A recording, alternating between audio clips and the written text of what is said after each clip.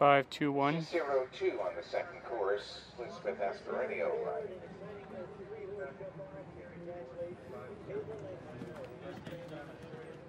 So Miles is on deck, Sophia in one, Jess in two, Miles in three, Sophia in four, Jess in five.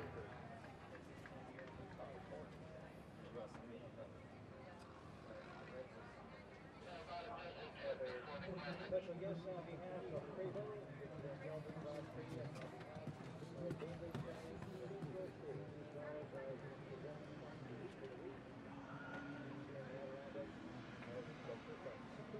Number nine ninety on the first course for modified adults, Cordina. A horse of Carolyn Anderson, shown by Harriet Gilpin.